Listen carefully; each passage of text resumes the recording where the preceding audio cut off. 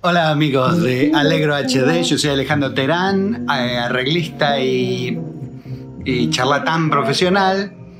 Estoy escuchando Graciela Oscura, una canción musicalizada por Astor Piazzolla de la película Extraña Ternura, que les recomiendo porque es otra, otra de las cosas atípicas que hizo Astor y ahí también hay una historia muy, muy jugosa que pueden investigar.